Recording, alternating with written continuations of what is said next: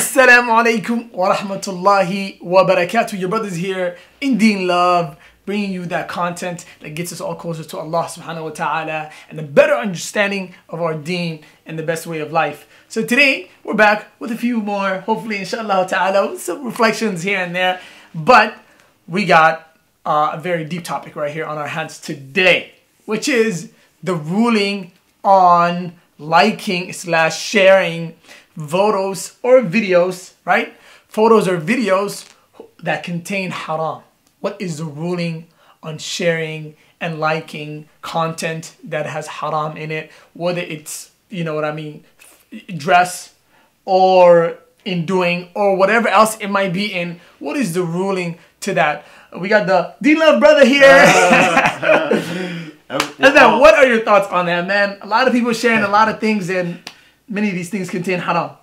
Um, Bismillah wa salatu wasalam ala Rasulillah sallallahu alayhi wasallam. This, all of this, I think, could be put under the banner of sinning in public versus uh, sinning in, um, in, in, in private. And the reason why I say that is because, you know, a lot of the times when we share things and we like things on social media platforms, Twitter, Instagram, Facebook, you know, we act like this Man. is even though your account is on private people yeah. think that this is a, a, private matter. But once it hits the social media it's not private even if your account is private.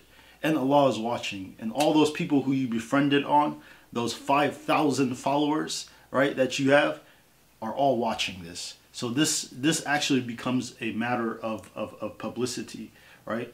And allah subhanahu wa ta'ala you know, for, for you to go and just common sense.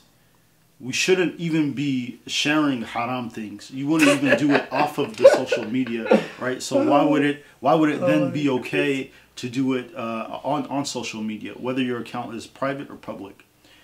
And the other thing is, if we are a part of this uh, uh, haram um, um, business that's going on in terms of videos and, and posts that are that are impermissible to begin with and pictures that are haram right? We all know what haram is. We don't have to tell you guys the at least the basic things of what haram and halal are. We know this as muslim right? We don't need to we know we don't need to play dumb now right? So when we share these things and we get involved in these things right allah subhanahu wa ta'ala may not forgive us. And that's a very scary thing. Why yeah. do we say this? Because according to the hadith in Sahih Muslim and Sahih, uh, Sahih Bukhari, Allah, uh, the Prophet wasallam, he says that Allah will forgive my ummah, right? Except, he says he will forgive everyone in my ummah except those who sin publicly. Mujahirin, those who sin publicly, and this has to do with uh, uh, uh, shamelessness, and also you know uh, the the idea that you know what everybody's doing it, so I'm gonna just do it, and Allah will forgive me. And these are the sort of arguments that people put forth, and it's very dangerous. Extremely sad. Wallah, extremely sad. Uh, beautiful ayah that's really foundational for many of these things. Especially, I want to talk about somebody who already has done haram, already has done haram, and then they post it for publicly. The sad thing is, you have some people who are willing to go to that haram thing and share it and like it and promote it. Yeah. What does that mean? Look, listen to this beautiful ayah where Allah subhanahu wa ta'ala says, وَتَعَاوَنُوا عَلَى الْبِرِّ وَالتَّقْوَى وَلَا تَعَاوَنُوا عَلَى الْإِثْمِ وَالْعُدْوَانِ Allah subhanahu wa ta'ala in this beautiful ayah that is really foundational for a lot of the reflections that we have is um, Allah says, وَتَعَاوَنُوا Help each other in al-birr, in the righteous things, وَالتَّقْوَى and the fear of Allah. Anything that is khair, Allah subhanahu wa ta'ala is commanding that we help each other in. But then the second part of this ayah, or in this uh, portion of this ayah, Surah Al-Ma'idah is, وَلَا تَعَاوَنُوا Don't aid each other. Don't help each other in sin. Right. Don't promote it. Don't uh, publish it. Don't, obviously, from the foundationally, you're not supposed to do haram to begin with. Forget about publishing it for everybody to see. Right. And then for us to come and like that and promote that and then push that, Allah subhanahu wa ta'ala is saying, وَلَا تَعَاوَنُوا عَلَى الْإِثْمِ وَالْعُدْوَانِ Right? Don't help each other in sin and in transgression. So every time you hit a like button every and, you, and, and, and it's something haram, you, you're promoting it, you're helping that person, and you're going against what Allah subhanahu wa ta'ala advised us not to do. Absolutely. And you know what? This this may ultimately lead you out of the mercy of Allah subhanahu wa ta'ala. You know, after some time, you know, when you keep doing this over and over again, and even some people just they just do it to follow the crowd, you know. They they themselves may not even want to do it, but they think that, you know, their friends are gonna look down upon them or or they're gonna, they may lose some likes or whatever if they don't do something ridiculous and it's not pleasing to Allah subhanahu wa ta'ala on social media we know what it is we know what's going on let's not let's not play uh, you know uh, act like we're oblivious to this Oh right? we see what's happening. So Oh us sharing it right we become uh, uh, uh, you know people who are now participating accomplice in the crime right? And on Yom Al Qiyamah this will be very ugly because because you know you you will be distancing yourself from the one who used to share that haram and the one who used and, and the one that used to share it for right? And you will become enemies on that day.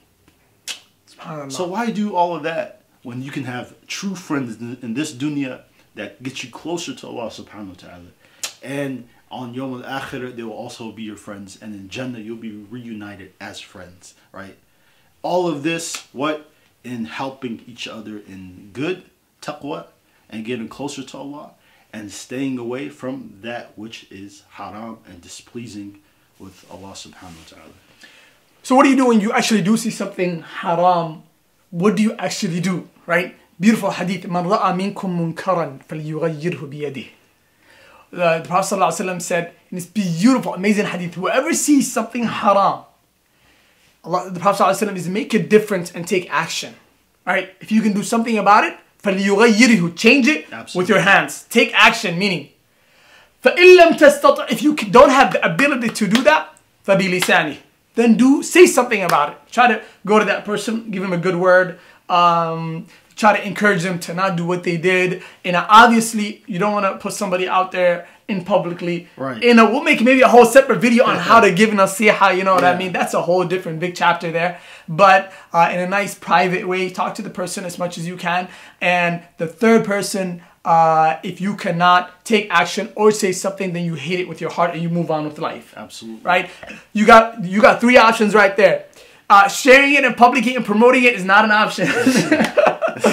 If, if, if you want Jannah If- and if you want the oh. forgiveness of Allah, it's not an option. it's not an option But if you want the pleasure and the liking of the people Yep. and, and, and, and, and, and mankind and your friends and your followers, then you know it's it's it's it's a for a sad price. Very You sad, are- wallah. You are giving up your akhirah. And also, I want to say, Jazakallah, Jazak- Jazakallah khair, akhi, for uh, that, that hadith. فإن لم يستطع بلسانه فإن لم يستطع وإن لم فإن لم يستطع فبقلبه وذلك وذلك أضعف الإيمان. سبحان This Allah. is the least amount of iman. And commonly, this hadith here today, we we as a whole we limit this in this conditions. We think this only has to do with social issues Yeah. and social justice and, and, and protesting. This is the only time we use it, right? Yeah. When it comes to these sort of things and, and voting in elections, right? But actually, this has to do with all type of haram. Even the haram where your best friend is doing it and we are okay with it. We are very okay with it and we don't have a problem with this, right?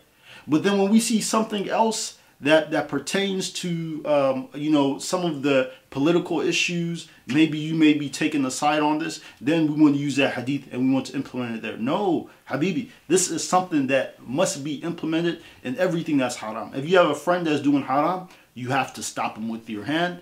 And if that does not work, then you have to do it with your tongue. You have to tell them, rebuke them in it. And if this does not work, then hate it in your heart. And this is the least of iman.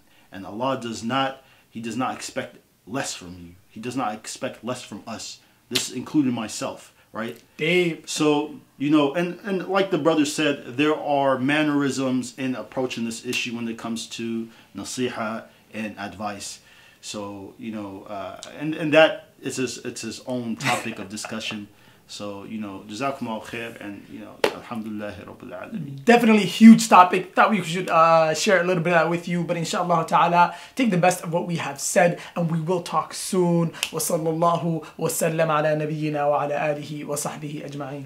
بإسلامي وإيماني أضاء الكون وزمن بإسلامي وإيماني أضاء الكون وزمن